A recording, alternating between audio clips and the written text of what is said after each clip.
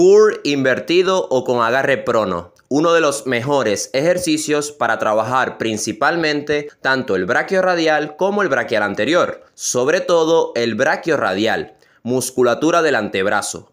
Debido a que al realizar un curl invertido o con agarre prono, con las palmas de las manos mirando hacia abajo, estamos haciendo que los bíceps tengan un porcentaje de trabajo mucho menor haciendo precisamente que el porcentaje de trabajo pase a ser mucho mayor sobre el braquial anterior y sobre todo el braquio radial, musculatura del antebrazo.